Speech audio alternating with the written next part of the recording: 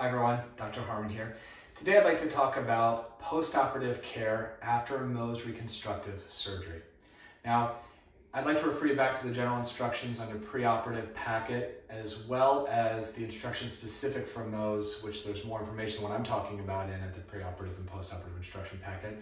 And I'd also like to say that in the event of an emergency, 911 is always the number to call. Every Mohs reconstructive procedure is different. And so I'll talk a little bit about what to expect and just know that there's going to be a range of times in which sutures are removed and if you have a bolster dressing, when that would be removed. Incisions are cared for by applying bacitracin antibiotic ointment twice daily for three days after surgery. Now, if you're allergic to bacitracin, I'll recommend an alternative. After three days, you'll stop the bacitracin and start Aquaphor ointment. You'll apply that until day 14 after surgery, twice daily. If you're allergic to Aquaphor, we can always switch to Vaseline.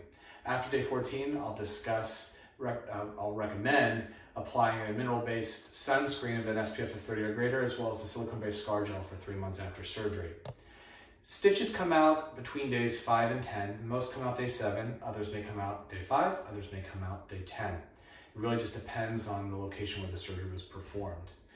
If you have a bolster dressing on your ear, that'll come out day 5. And if you have a bolster dressing due to a skin graft somewhere on your face, that will come off day seven. As I remove sutures, I will apply a medication as well as tape on those incisions.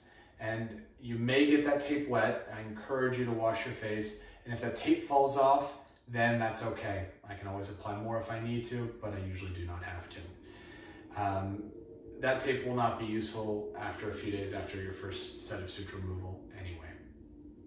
If you have dry blood or crusting on the incisions, I recommend using half strength hydrogen peroxide, a one-to-one -one mixture of hydrogen peroxide and water with a Q-tip dipped in, and then roll it on the incision to remove any dry blood or crusting prior to applying the bacitracin or the aquaphor.